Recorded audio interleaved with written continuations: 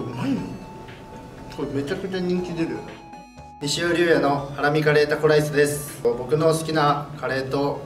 お肉を一緒に入れて最後に僕が選んだスパイスで仕上げをしているので5月6日より発売しますのでぜひ皆さんスタジアムで食べてくださいお願いします